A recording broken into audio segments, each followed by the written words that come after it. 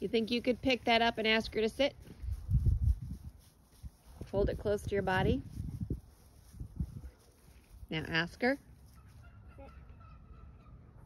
Turn your shoulders to her just like a horse. Turn your shoulders to the dog. Now ask her again. There she goes. Now she gets to play again.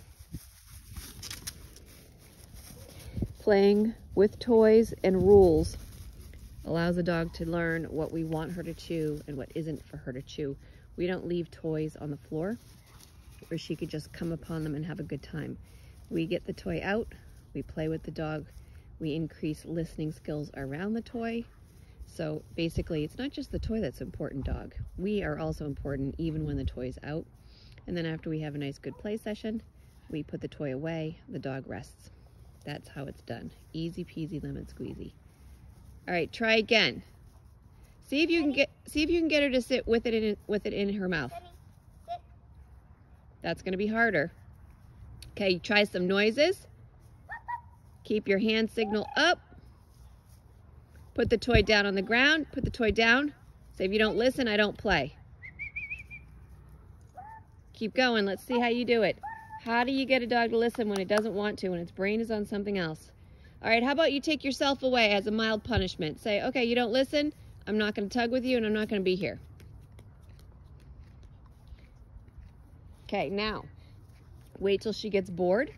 Go back over, ask her to sit, and then pick it up and play with her as a reward. So just because a dog doesn't listen when we don't want when it when we want it to, doesn't mean that we don't have any cards in our pocket.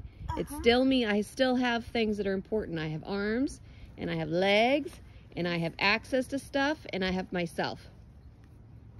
Okay, now go. Uh, she's not bored yet. Wait until she gets bored and starts missing you and wanting it to go places. Here, let's walk all the way away from her. Say bye. See ya. Bye. You don't listen. You don't get us. Bye bye.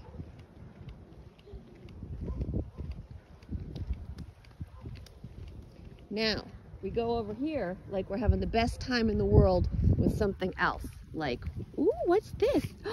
Ooh, look at this. It's so exciting, Daniel. Look at this. It's so exciting. Look so I fun. have, You're so All right, you ready? Ask her to sit. Sunny. Say it like you mean it. Say it. Big girl, big girl voice. Okay, now look at your body language. Ready? Look at mine. Sit. Boom. Okay, take a few steps away. Keep going. All right, she doesn't care. All right, call her to you. Call her. Sunny. Up. No, wait till she looks at you. Make noises till she looks. Come on, you can do this. Sunny. Make get her attention. What gets her attention? How did I get her? Remember?